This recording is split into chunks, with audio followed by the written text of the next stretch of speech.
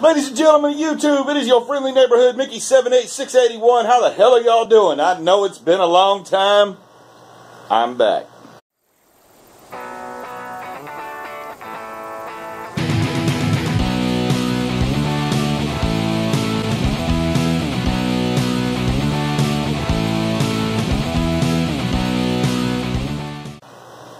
Uh, just a quick one this morning. Just nice and quick.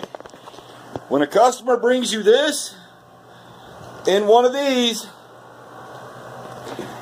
do yourself a favor. Order a new wiring harness. Because it's a lot easier to put that in than it is to figure out why they cut and splice certain things together that don't go together that make it when you turn the key to the on position, it just sits there and cranks. Anyways, just a quick little tip. Y'all have a good day.